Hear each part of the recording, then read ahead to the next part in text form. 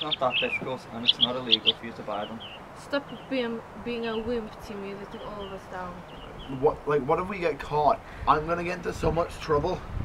You're the one who's 18. You won't get caught. I don't want to do it. Just do it, Timmy.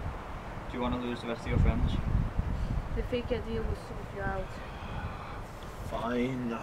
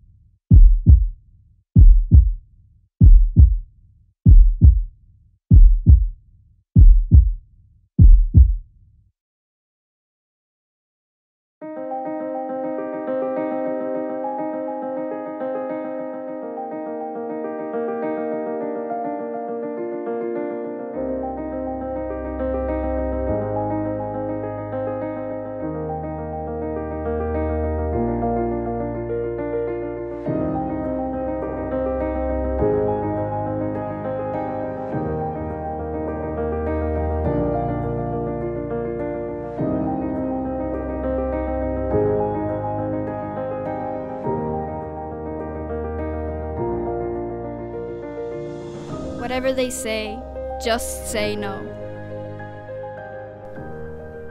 Don't sell cigs to them young kids.